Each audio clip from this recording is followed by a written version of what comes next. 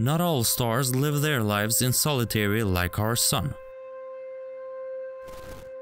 Actually, most stars with the mass of the Sun or larger are part of double or multiple star systems.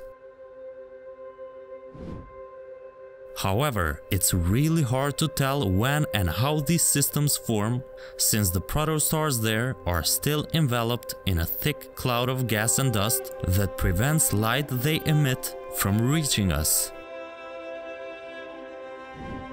But using numerical simulations and radio telescopes has helped us understand them better. Stars are born in clouds of gas and dust. A single gas cloud does not lead to just one star, but thousands of them.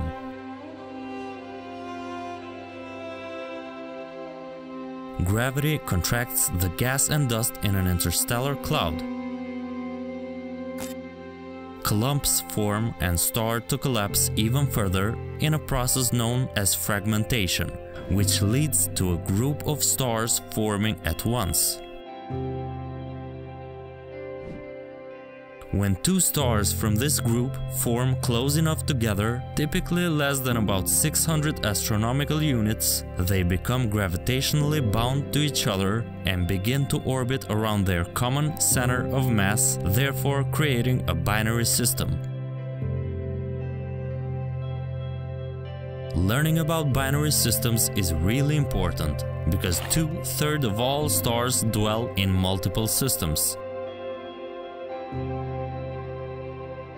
It is also very difficult to determine the mass of an isolated star, but astronomers can do that in binary systems by analyzing their orbits. So most of our knowledge of stellar masses comes from these systems.